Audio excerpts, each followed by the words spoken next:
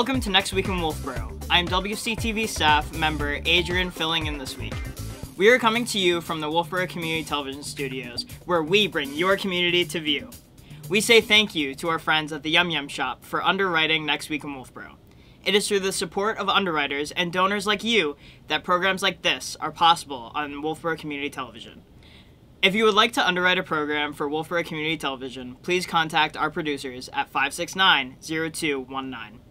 We also want you to let your friends and family from out of town know they can watch this program on YouTube.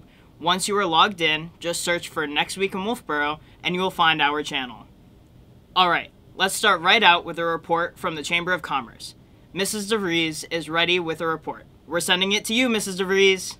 Hi and welcome to Next Week in Wolfeboro. I'm Mary. I'm standing inside the Information Center located in the former railroad station and come down and say hi. A reminder that we have the calendar of events, this yellow piece here, and it's available for you to pick up here. We have them in an outdoor rack 24-7, so just stop by and get your copy if you'd like.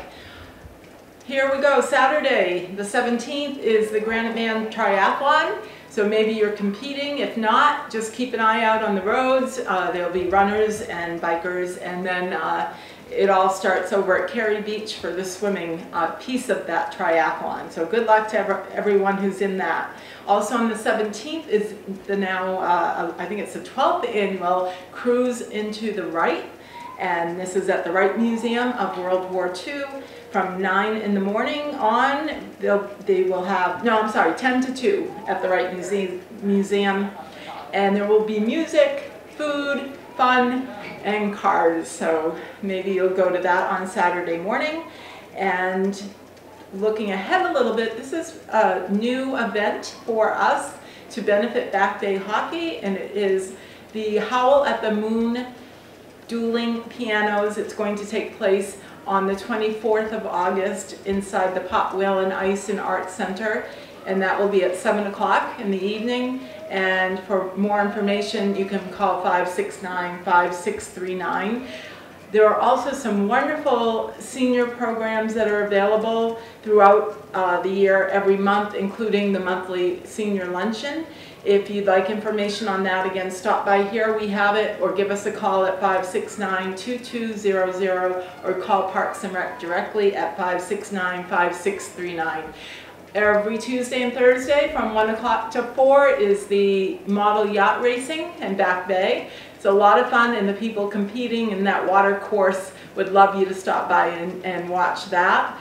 Uh, remember Saturday night is the concerts in the community bandstand and Wednesday evenings, the Cate Park Pickup Band, and there's just so much going on every week. Farmers Market, we have it all in the calendar of events, and we hope that to see you so we can give you a copy.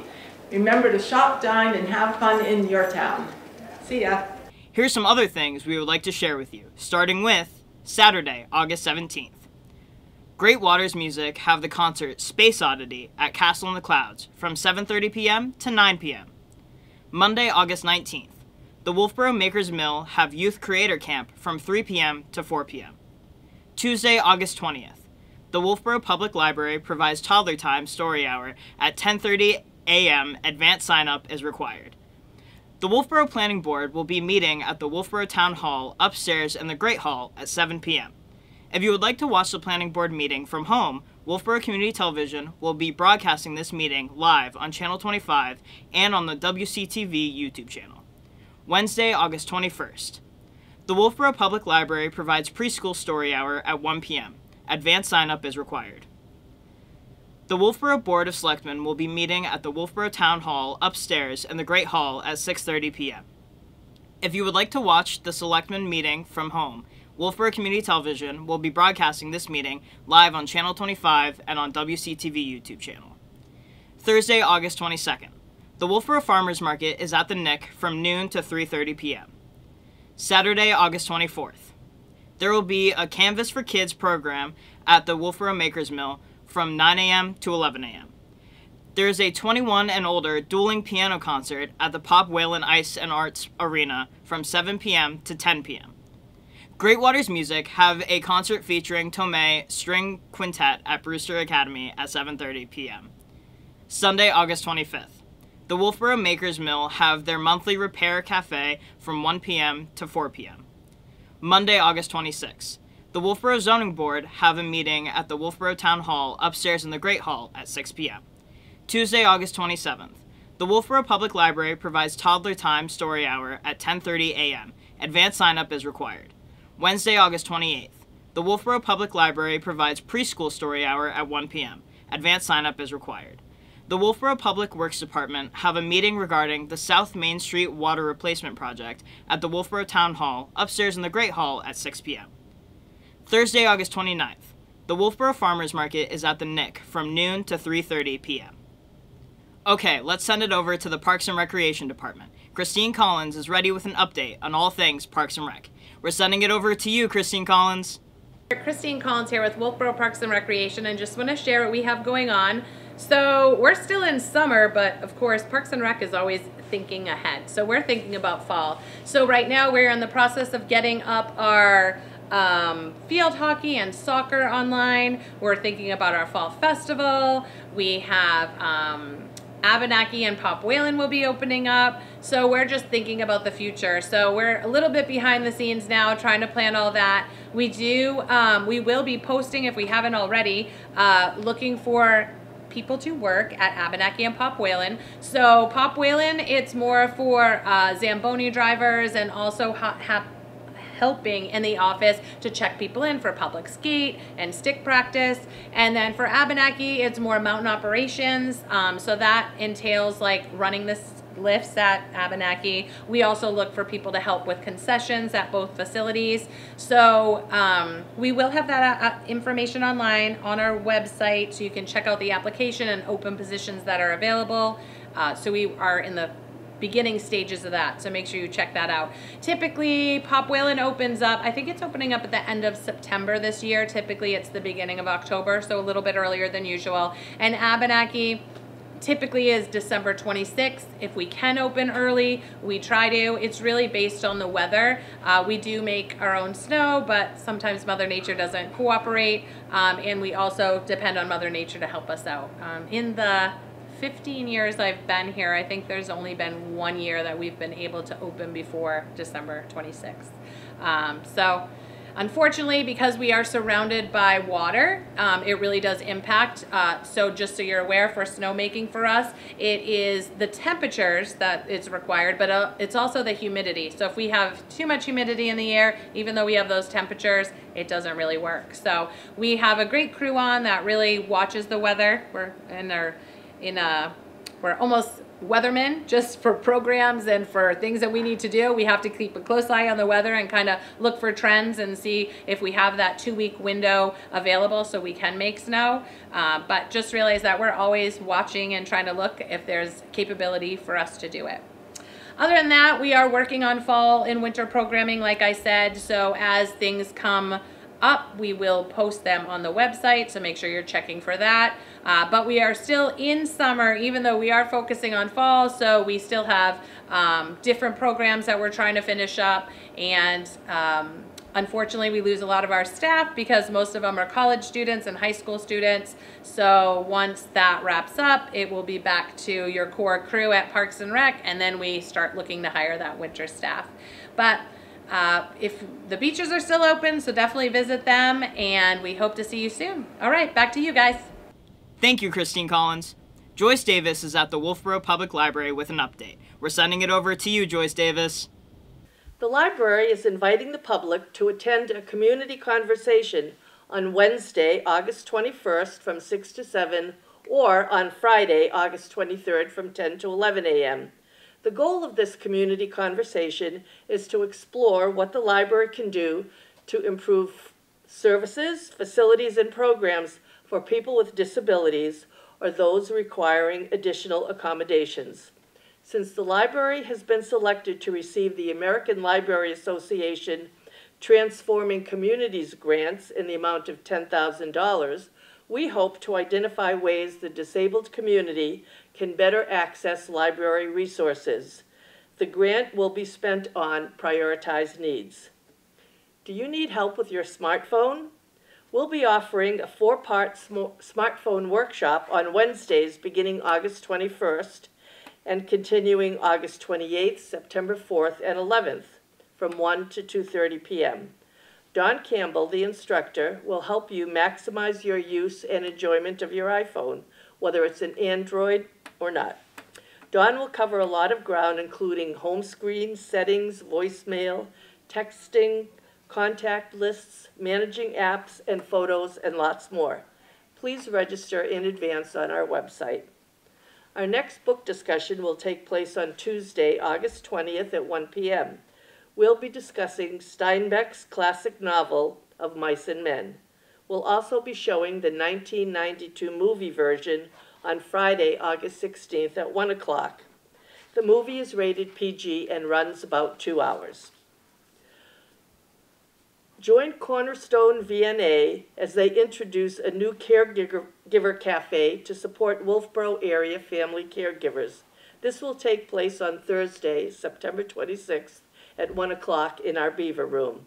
If you are a family caregiver, Please come for an afternoon of support, education, and conversation.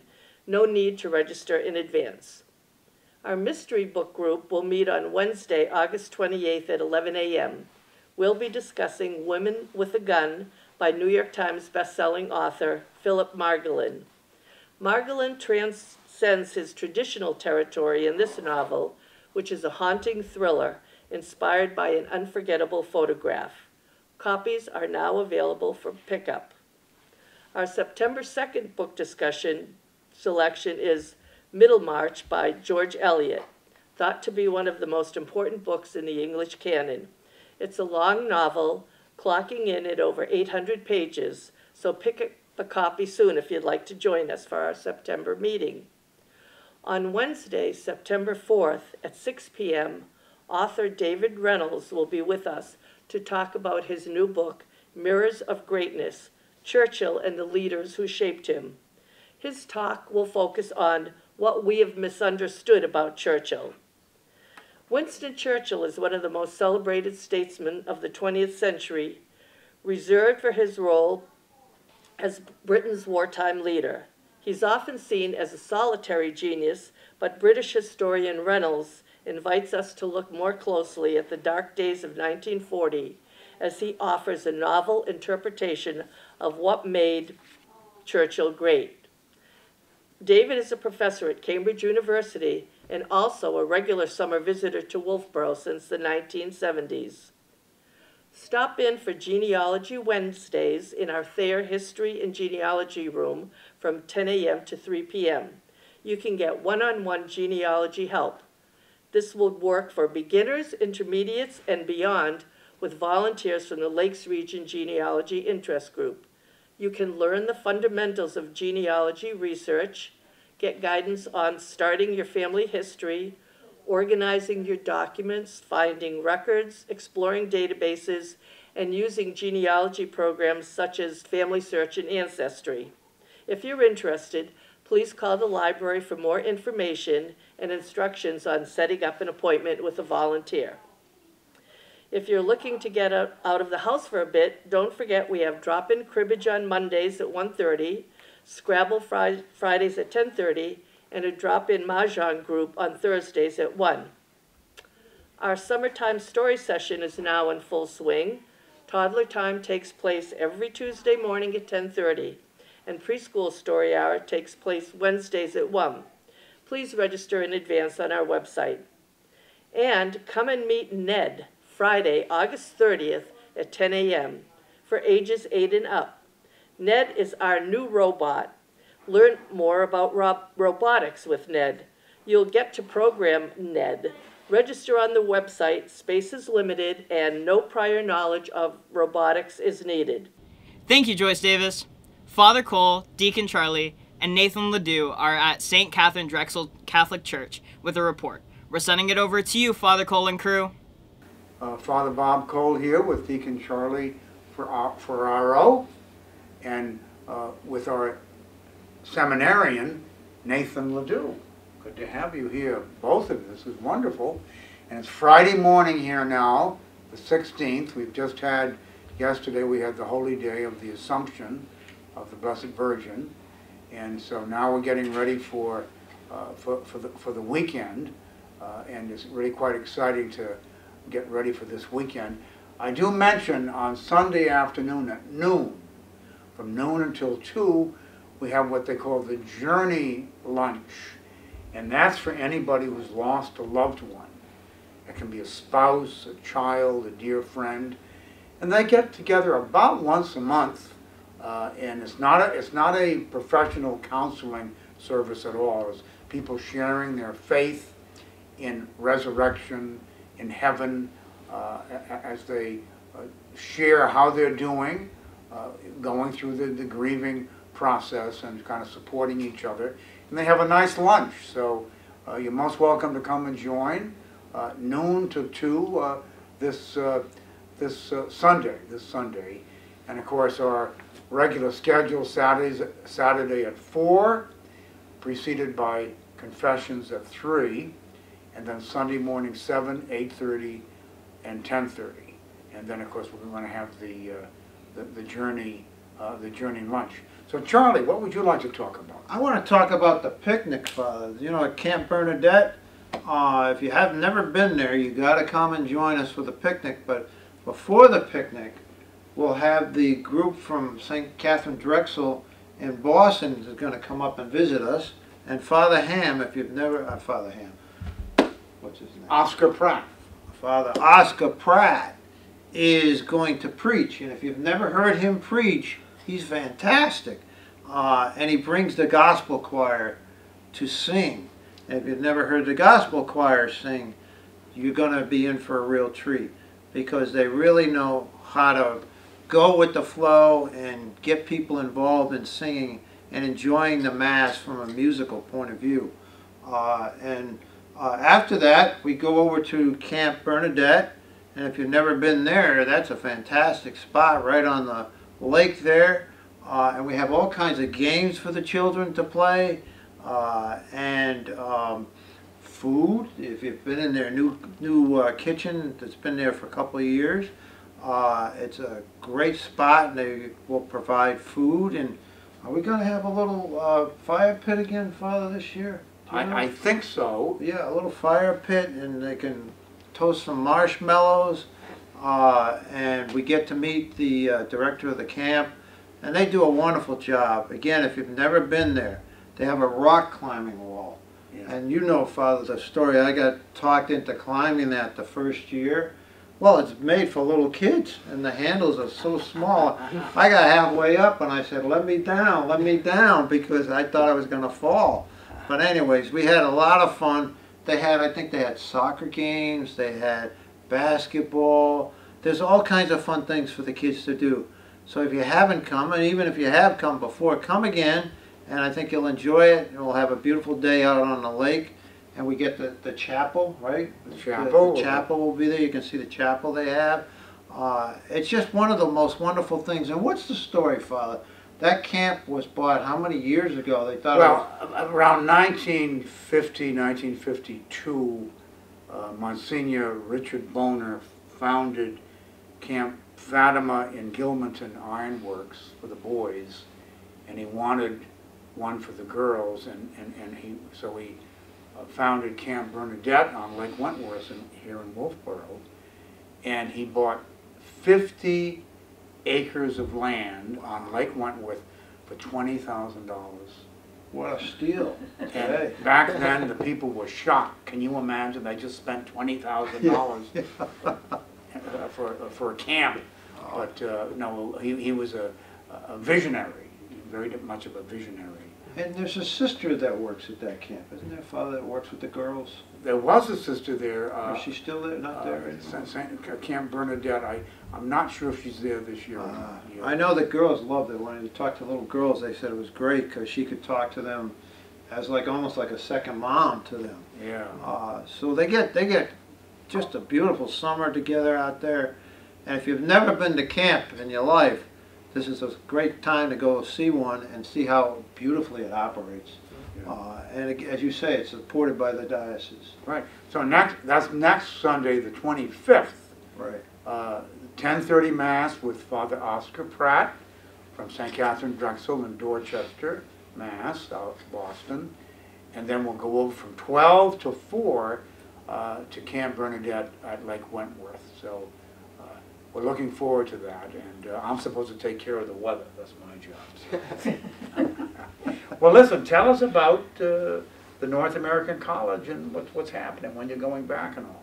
Yeah, so actually this afternoon I'll be leaving uh, to go back to the North American College in Rome. Uh, and that's one of many seminaries around the world, but especially for us uh, in the United States, one of our national seminaries, so men from across the country uh, are sent by their bishops to study for the priesthood. Uh, and the blessing for myself is that I get to study with men not only from around our country, but from around the world in the universities there in Rome.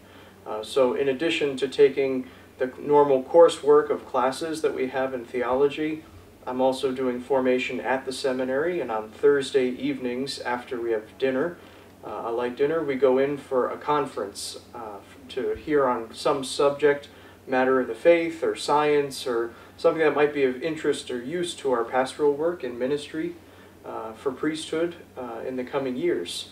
And this will happen over the course of many years. So I'll be entering what's called my third year of theology. So God willing, next year I'll be ordained a deacon, and then the year after to the priesthood. Uh, and this is also the time of year, around this time of August or so, when seminarians or men in formation for priesthood return to their seminaries around the country in the U.S. as well. So this is also to ask you to pray for uh, the men who are in formation to be priests because the Holy Spirit is, is leading uh, us uh, and these other men around our country uh, that the will of God be done and that His church continue and that we raise up new priests to carry on the mission of Christ on earth. So to pray for your seminarians and, and ask the Lord to send out more, uh, more uh, men into his vineyard to serve the church as priests and deacons and religious because we really do need it, uh, especially in these times. Well, we're delighted to have you here in the parish with us at St. Katherine Drexel.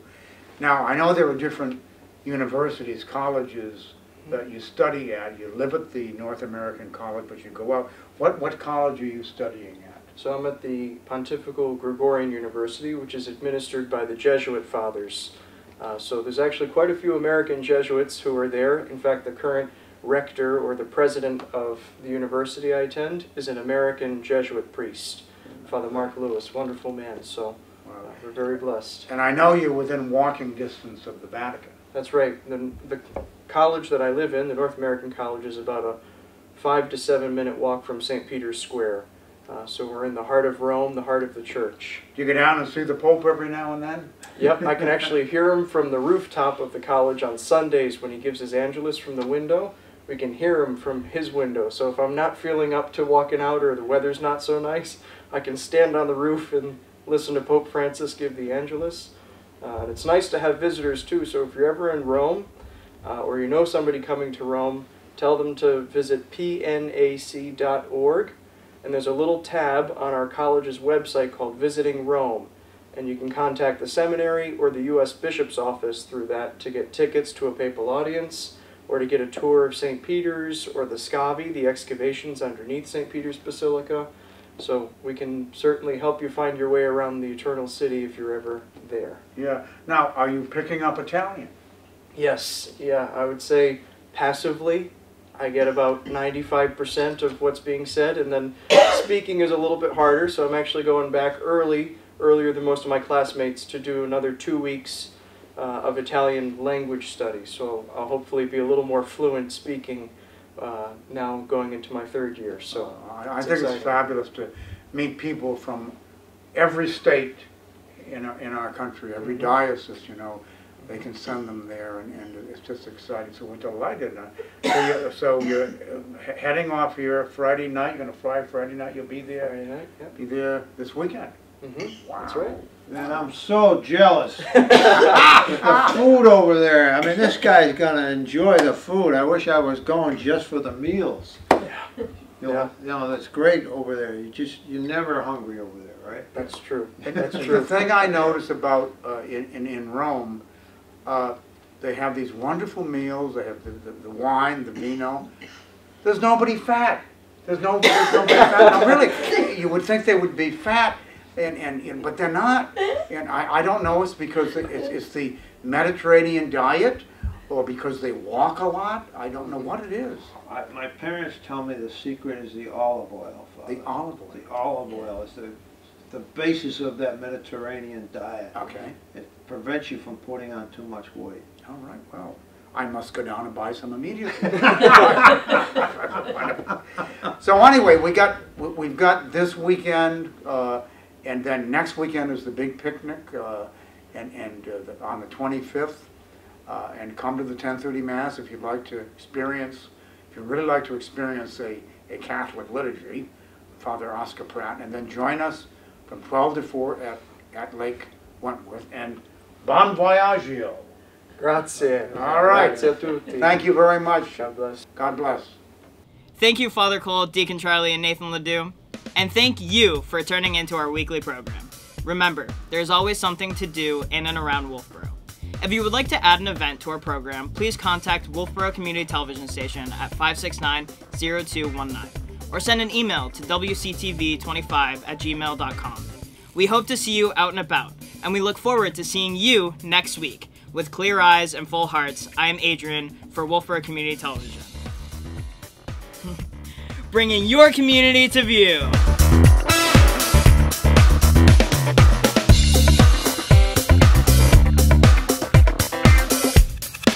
Thank you.